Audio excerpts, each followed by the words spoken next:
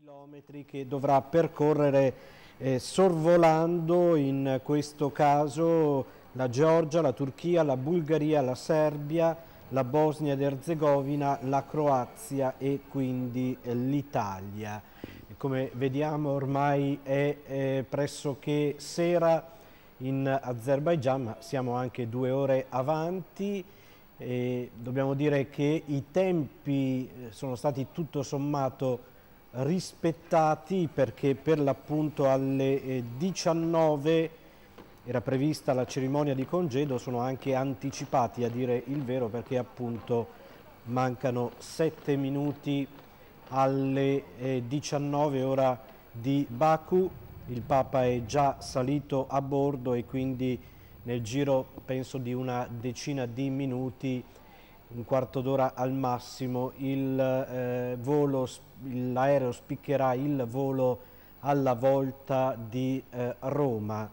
In questo momento mi pare di capire viene chiuso il portellone dell'aereo come è successo questa mattina quando da noi erano le 7.15, 9.15 ora di Baku il vice primo ministro ha salutato il Papa a nome del Presidente insieme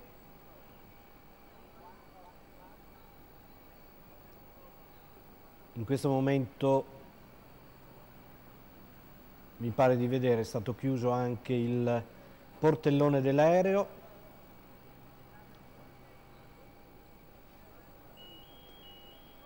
ultimi momenti di presenza di Papa Francesco in Azerbaigian, dicevamo meno di dieci ore la visita del Papa in questo paese,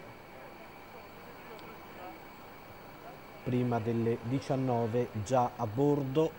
dell'aereo, mentre ancora il vento accompagna queste ultime immagini che arrivano da Baku, capitale dell'Azerbaigian, piccolissima comunità cattolica che il Papa ha incontrato, non ha perso tempo, come ha detto lui, come del resto non perse tempo lo Spirito Santo quando scese per irrobustire la comunità che stava nascendo, per dare forza alla comunità che stava nascendo, riunita con Maria. Il Papa ha detto anche per voi non manchi la certezza della presenza di Maria e non manchi l'amore che si traduce in carità fraterna, in quelle che sono le relazioni quotidiane chiamati a vivere. Questa mattina la messa nella chiesa dell'Immacolata Concezione, nella realtà salesiana, l'Angelus, nel pomeriggio la visita di cortesia al Presidente, la visita al monumento dei caduti dell'indipendenza, caduti per l'indipendenza dell'Azerbaigian, e quindi l'incontro con lo sceicco, sceicco di tutti i musulmani del Caucaso e l'incontro interreligioso che ha visto due discorsi, quello dello sceicco e quindi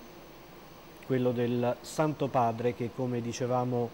poco fa con il nostro ospite in studio una volta di più ha rimarcato la necessità di costruire la pace Dio non sia mai usato, potremmo dire non sia mai tirato in ballo per questioni di guerra, per questioni belliche, ma sia sempre lodato e glorificato perché Lui è il Dio della pace. Quella pace che i popoli, a qualsiasi religione appartengano, sono chiamati a costruire insieme immagini in diretta dall'aeroporto internazionale di Baku dove questo aereo dell'Alitalia che ieri l'altro ha portato il Santo Padre da Roma a Fiumicino a Tbilisi, capitale della Georgia. Questa mattina ha portato il Papa da Tbilisi, capitale della Georgia, a Baku e ora da qui, dalla capitale dell'Azerbaigian, porterà il Papa intorno alle 22 all'aeroporto di Roma Ciampino dove con l'arrivo si concluderà questo sedicesimo viaggio apostolico internazionale di Papa Francesco, il numero 153 fra i viaggi pontifici fuori dall'Italia nell'epoca contemporanea da Paolo VI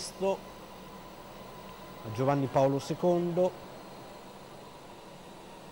a Benedetto XVI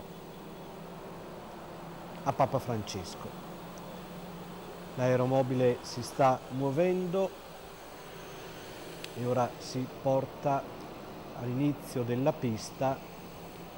da dove poi inizierà la sua corsa per decollare Dobbiamo dire che tutta la giornata è stata anticipata di un quarto d'ora dall'arrivo alla partenza, 19.15 era previsto il decollo, mentre già l'aereo si prepara per decollare, per lasciare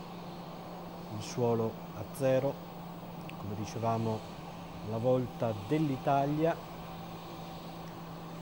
sorvolando ancora la Georgia, la Turchia, la Bulgaria, la Serbia, la Bosnia ed Erzegovina, la Croazia e l'Italia.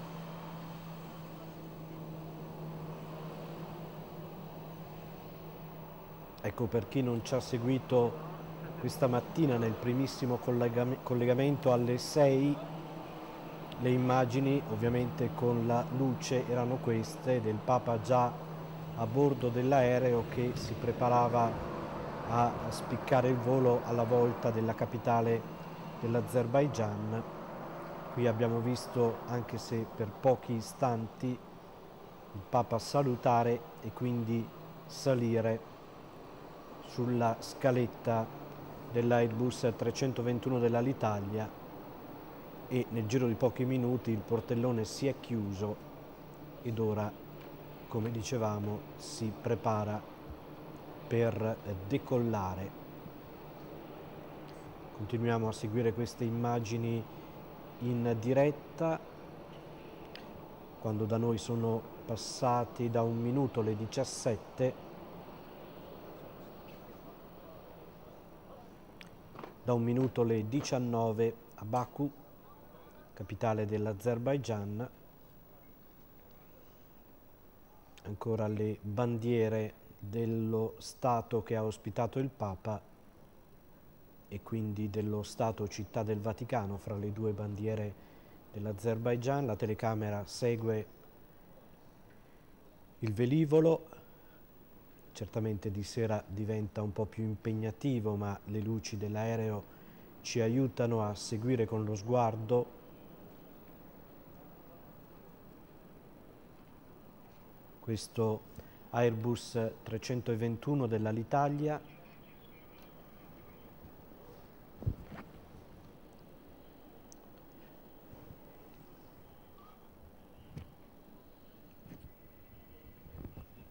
Mentre vediamo queste immagini, dicevo del dell'aereo del Papa che sta per spiccare il volo, vi ricordo che mercoledì, quando il calendario segnerà il 5 ottobre, alla mattina, come ogni mercoledì, avremo l'udienza generale alle 9.30, nel pomeriggio dalle 15.30 alle 17.30 saremo in diretta con l'Aula Paolo VI per l'apertura di un convegno dedicato allo sport che vedrà la presenza del Papa alle 16.30 e successivamente alle 18